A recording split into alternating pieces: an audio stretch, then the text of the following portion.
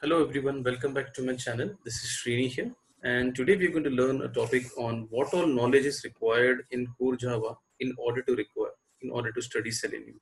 So I've been getting a lot of requests from subscribers who would want to know what all concepts do we do they need to know and learn in Java so that they can you know, start with Selenium. So this particular session is going to be very useful for you all. So please do watch the video to the end and if you haven't subscribed my channel yet, I would strongly recommend to go ahead and subscribe to it and hit the bell icon to get notifications. If you have any queries, you can send me an email at this email address and even I'll be happy to take any topics which you suggest me to take. Or if you have any other requirements or training, you can send me an email at this address. So let's get started with today's topic. So what all Java knowledge is required in order to start with Selenium? So just to give a context here, before we start into this topic. So as we know, automation is very much in demand these days because all the IT companies as well as the other financial companies, they would require all the majority of the work to be done by automation. The reason is because it saves the cost, the efforts, and it improves the efficiency. So that is why many companies are targeting to make as much as possible entirely done through automation so if you are a manual tester or a person from a non-technical background, and if you wish to come into automation, this is going to be a very good opportunity for you all to just increase your skill set to the next level and learn Java or any other programming language for that matter in order to learn any automation tool. So we are going to focus on Java for this particular session. So let's get started. So these are going to be the key takeaways which I can promise you from this particular video. What all Java concepts one has to be aware of, how much of a practical knowledge in Java is required in order for you to start Selenium, how can you get confidence in core Java concepts as well as practically. So that I'll be giving you all some tips. And at last, we are going to look at how to apply these Java knowledge which we have learned in order to work with Selenium. So let's get started. So to explain the first point, what all Java concepts one needs to be aware of? I would say you need to be uh, good in core Java concepts. No it's not required to know in depth of uh, Java. So I would say core Java concepts, even if you don't know, even if if you don't know Java 8 or Java 9 features, it's still fine. It's still okay because it's not required for Selenium. I would say it's not a mandatory thing for Selenium. It's good if you know it, but it's not mandatory. So which all concepts do you need to know in core Java? Let me list down them on here. You need to know OOPS concepts. So I'm just going to mention what are they. So objects, class, polymorphism, right? Abstraction, encapsulation, all the OOPS concepts you need to know. Inheritance, right?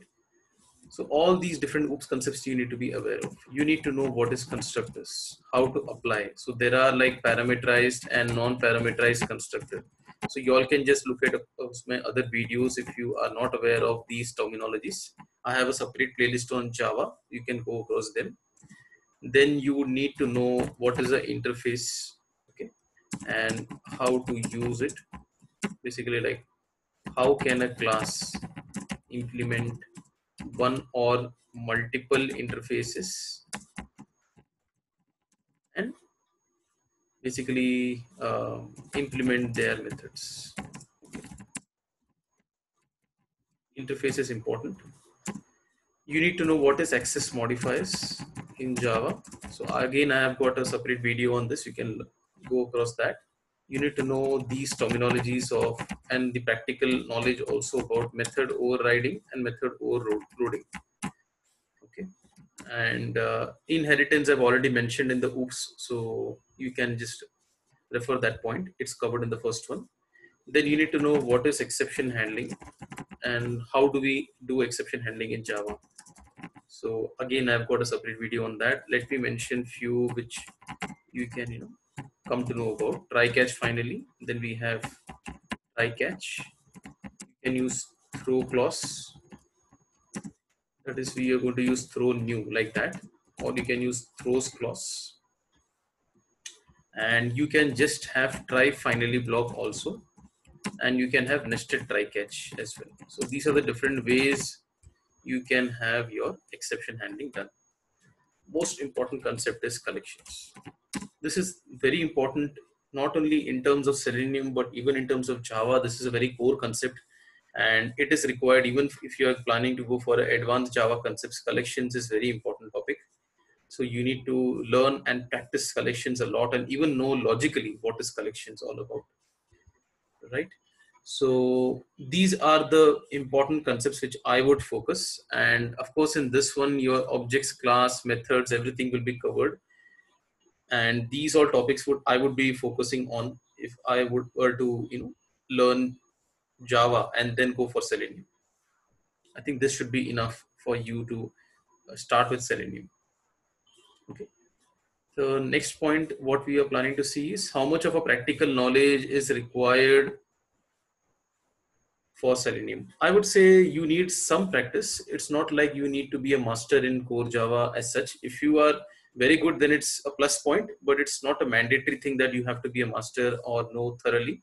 But you need to have some good practical knowledge of whatever concepts I had shown in this Word document. You need to practice on that individually, one by one topic, and then bring it all together. Right. So bring it all together, create a program like Fibonacci series, create a factorial of a number, reverse a string. So try to take some practical examples of what all interview questions get asked in a Java or a Selenium interview on Java and just get some confidence practically on Java. So how do you get confidence in core Java is my next point. You can practice a lot of such programs. Take a program question which is asked often in interviews. You have already learned the concepts I'm assuming you've learned the concepts and then you're attempting the quiz or the practical questions. So without seeing the answer, just think on your own, create a logical path on your own. How can you get to that particular final output, whichever is desired, right? And just think on that. Try to apply all the concepts, whichever you've learned in Java. If you can get time, learn Java 8 features also because there are a lot of concepts which require Java 8 features and try to practice even take some quiz online. There are a lot of different uh, quiz available online like HackerEarth and different other websites which will give you a good platform to know where you are in terms of Java and improve. If you are lagging behind, you can improve again by going to that concept, whichever is not clear, and practice on that.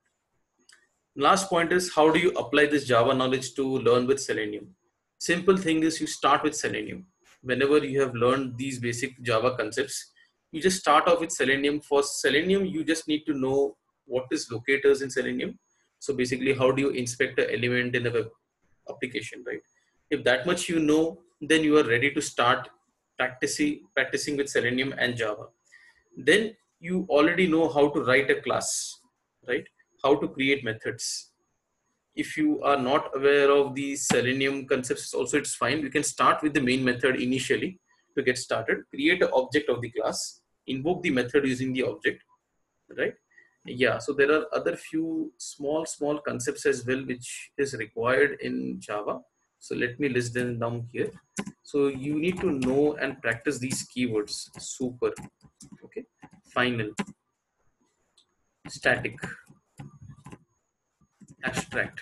So you have to know these keywords as well because they play a very important role uh, when you are trying to work with Selenium, these also play a very important. So you have to practice as well with these different keywords. So coming back to the last point on the slide. Yeah, you have to apply this Java knowledge to learn with Selenium by starting with Selenium, create a class, create an object, invoke the method, again create some static methods, make a way of invoking the static methods without creating an object, use constructors in that particular class, right? do method overloading, do method overriding. Just get all the Java concepts onto your Selenium when you start practicing with Selenium. Just make it apply there. Just start using those concepts when you start learning with Selenium. And you just have to have a method created which will just launch the browser. Of course, you learn, have to learn the Selenium syntax of what is a driver, web driver basically. Driver driver is an interface, right? So when you create a reference variable for that interface, you can't instantiate an interface, right? You have to go ahead and instantiate for a class. So that is why we say WebDriver driver equal to new Chrome driver because Chrome driver is a class which is implementing the WebDriver interface. So using that driver variable, launch a application, like launch a browser, launch an application, let's say google.com or any website, inspect some elements using its syntax, and you are going to do all of this through Java because you're creating an object of the class, you're invoking a method, and then you're using a driver variable to do all the actions. So this is how I would summarize. Learn Java, practice it thoroughly, and I've already given in that Word document what all concepts are required in Java to be thorough enough. So just practice these concepts and then you're ready to learn with Selenium. So if you have any other thing which you would like to know, do let me know in the comments and I would be happy to take a video on that. Thank you so much and do subscribe to my channel if you haven't done yet.